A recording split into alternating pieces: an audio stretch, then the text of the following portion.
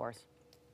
Hey, if you're making your way through downtown Seattle today, there will be some major changes affecting thousands of commuters. So, King County Metro Transit will be moving a dozen routes to improve commute times while demolition on the Alaskan Way Viaduct continues. It's just about wrapped up now. Uh, Omar Lewis joining us with more on how these changes are going to impact you on the road. Hi, Omar.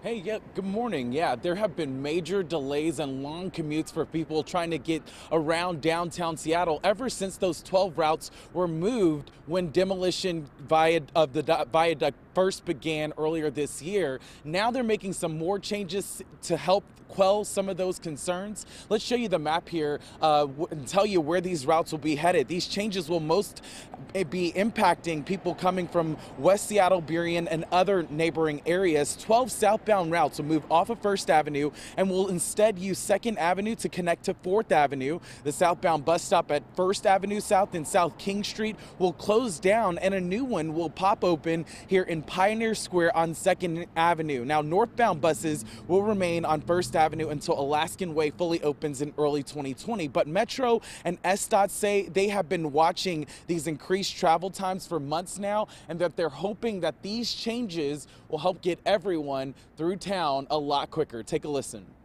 There have been very bad Fridays, for example, where buses have been delayed for an hour or even more.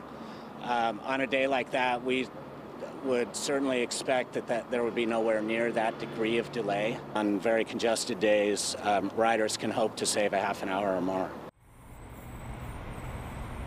And so on September 12th, there will also be more rerouting when South Dearborn Street ramps to and from SR 99 are shut down as the final pieces of the viaduct are demolished. So these routes will be moved once again for a shorter amount of time from September 12th to the 21st. So a lot of changes happening here in this area. We can tell you that those uh, southbound routes will be changed until the Alaskan Way surface street here is reopened. They're expecting that to happen later this year. But for folks trying to make their way through the downtown area, you will want to give yourself some extra time as these changes are put in place. But overall, they're hoping that things will move a lot quicker through downtown Seattle. That's the very latest here this morning. We'll send it back to you guys in the studio.